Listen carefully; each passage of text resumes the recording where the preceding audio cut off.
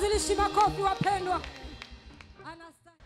Haleluya. Haleluya! Ni watu wawili hao, wewe na mimi. These are two men, you and I. Tumekuja hekaluni leo We've come to the temple today ili ufikie mema ya Mungu for you to attend the goodness of na utoke hapa umebarikiwa. and leave this place blessed. Yategemea unaombaje, It depends on how you nyumbani kwako, in your home, mahali popote pale. wherever you are. Haleluya! Haleluya. Bas. That is it.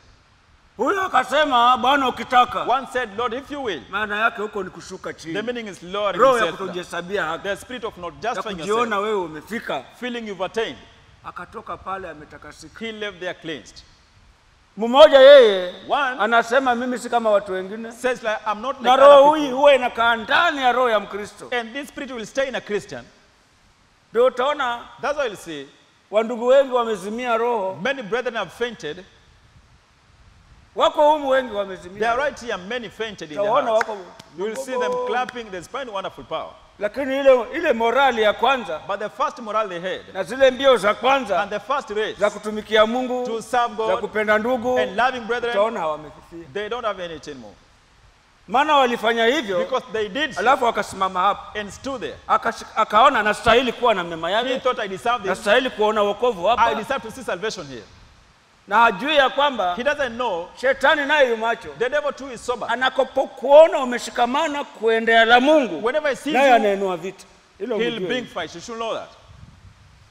Anapoona umeshikamana na la Mungu, Whenever he sees you beholding the word of God, kutii mumeo, being submissive to your husband, mkeo. loving your wife, shetani anainua vita. the devil will bring fights.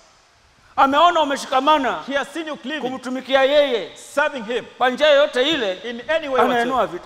Apigi vita mtu bure. He'll never give you space. Wewe ambaye umerelax tu, For you as relaxed, anapiga vita mwenye anakusudia he'll la fight one who determined to walk in godly ways. Haleluya. Hallelujah.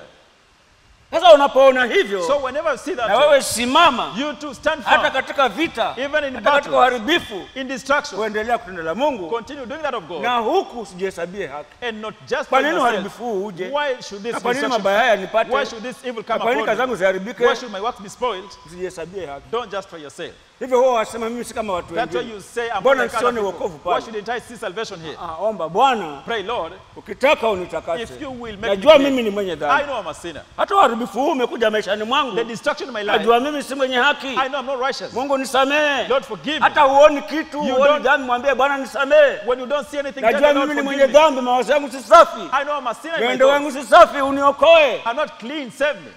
uniokoe. Save me. Huku usiache kutenda haki, Don't live doing righteousness. kesho utatoboa. Tomorrow will cross over. Tuona Mungu amefanya kazi. Will say God working.